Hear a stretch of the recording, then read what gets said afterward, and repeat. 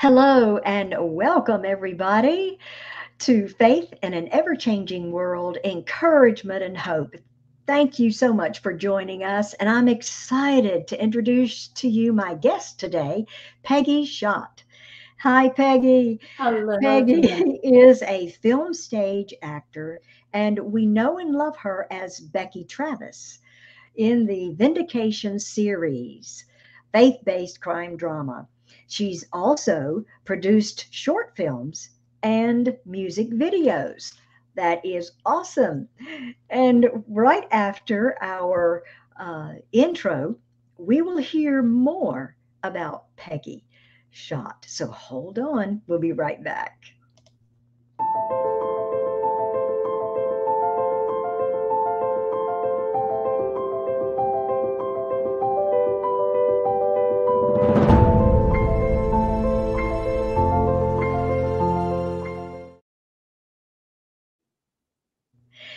And we're back.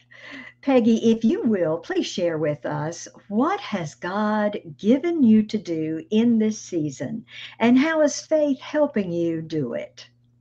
Um, I love the, the question, Janet. It is multifaceted. Um, just to say that it, faith in this ever changing world, uh, the world is ever changing, but I believe yes. that our purpose never changes. Um, there's a wide variety of ways to achieve it, but I believe our purpose, the purpose of every human being on this earth, is to make life better for others. Uh, we live in a society where where everyone is focused on me. You know what what makes me happy, and and you know right. what do I deserve? But I believe mm-hmm. that serving others is what really brings us closer to God. Yes, um, and yes, and that we're more was, like Him, serving yeah. others too. Yeah, Christ was the perfect humble servant, and and if we imitate Him and it'll how much better the world would be if people focused on others instead of Absolutely. just on themselves. Absolutely. So, yes. And and I know that that you invited me here today because you know me from Vindication. So speaking yes. of seasons, um, yes. not just seasons of life, but seasons of the series, I'm so excited that season three is is rolling out right now on Redeem TV. Yes. Uh, and we're in process of shooting season four. So I hope that everybody will check out Vindication on Redeem TV. Absolutely. So you are already shooting season four? We have already started shooting season four. And what Ooh. Redeem TV is doing is helping us tremendously. In order to see season three, um, it's it's behind a special donor content. So you need to be a donor to Redeem. Right. But what they've done is you're not making a donation to Redeem TV. You're actually making a donation directly to season four of Vindication. Oh, okay. And then that gives people the access to all of season three and then season four when it comes out, and it will come out quickly. There won't be a long delay because uh, I know that our fans have been waiting a long time for season three. So season four will come as quickly as as we can put it together. How wonderful! How wonderful! All right. Well, uh, now before we went on, you mentioned something about meeting your husband.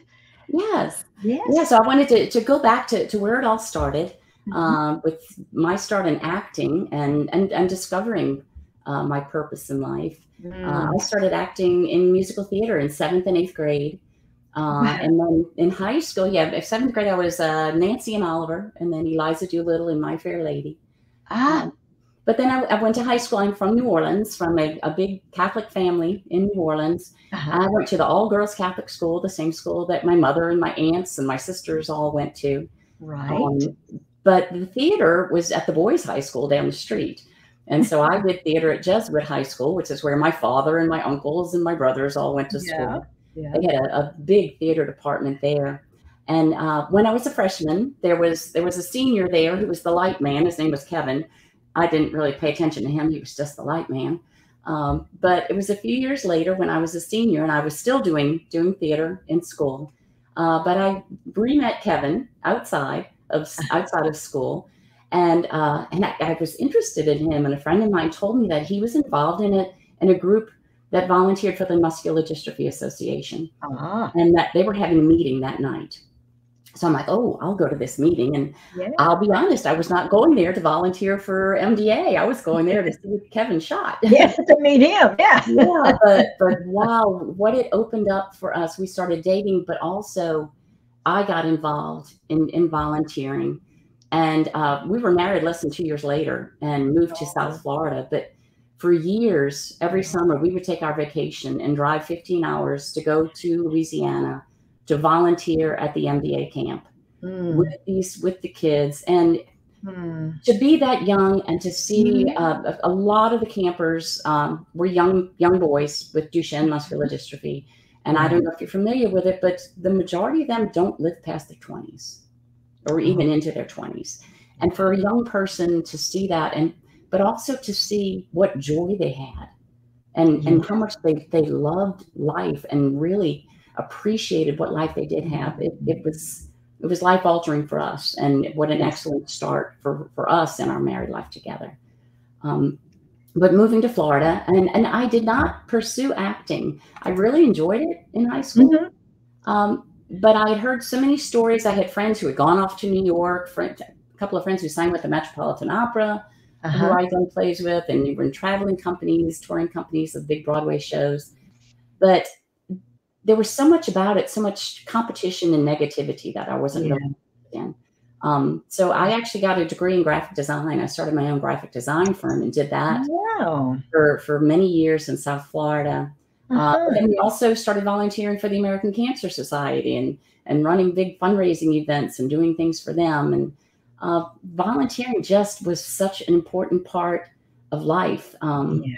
And, and just being able to serve, that's where you get so much fulfillment. Mm-hmm. So it's mm-hmm. something I always recommend to people is to, to find ways to volunteer. Um, yes. But then we, we moved to Austin, Texas, which is uh, where we lived for a long time, started having children.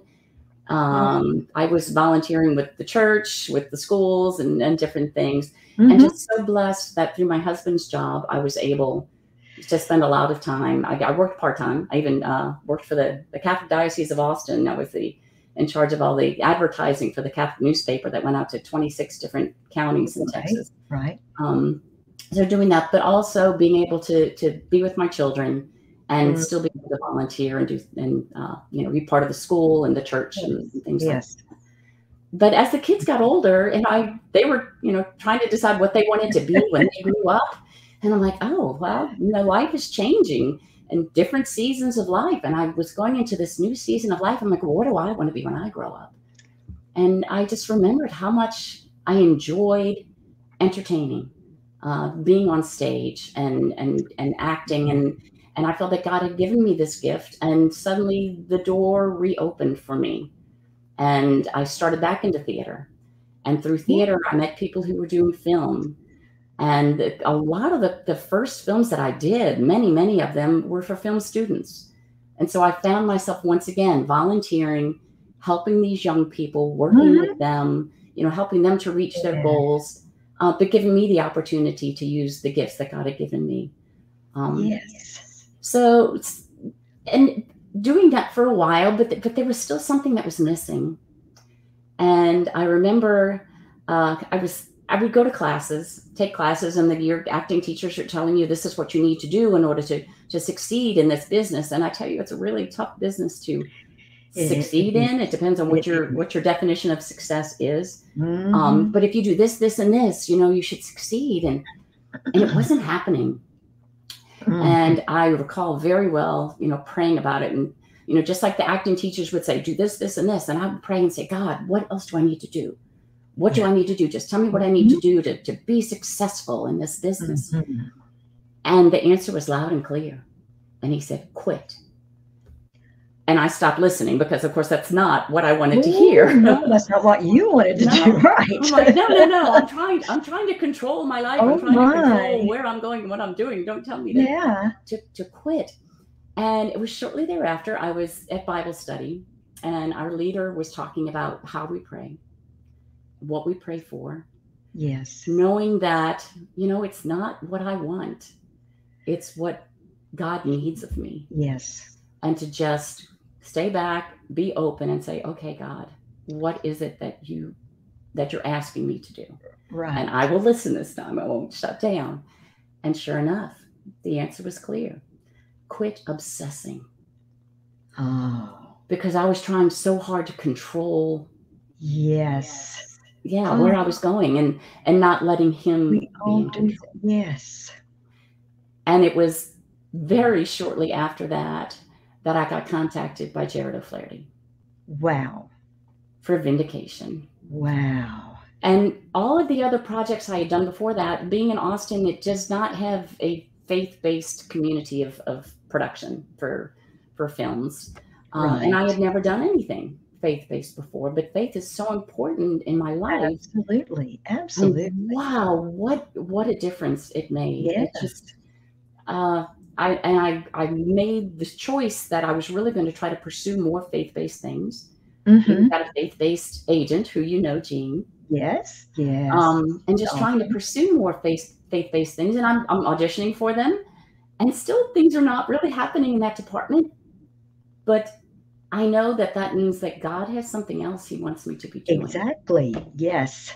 Yes. So open up. You know, okay, Lord, what is it? And uh, we surrender we surrender we surrender okay lord just show me what it is you you, where you yes. need um, and i'm still open to acting and doing that and, and have things going uh, and sometimes we have to wait don't we peggy yes yes surrender and wait wait and when you know be prepared you know mm-hmm. always stay prepared so yes. if, if it yes. happens again it will it's with i'd love to do some more faith-based work um, but in the meantime we you know the pandemic hit and and we decided to downsize and we moved to a small town. And the 1st mm-hmm. thing I mm-hmm. said I need to do, number one, is get involved in our church here. And yeah. so I have, and I've gotten involved in several different things at our church. Yeah. Um, but at church one day, there was a woman who was talking about our local pregnancy center. Uh huh. And I was like, there it is. Uh, that's, that's it. And mm-hmm. so I mm-hmm. got in touch with the pregnancy center, and I'm now one of the, I'm a regular volunteer there. That's um, helping out the pregnancy center. Just recently uh, hosted a screening of two episodes of Vindication from season one.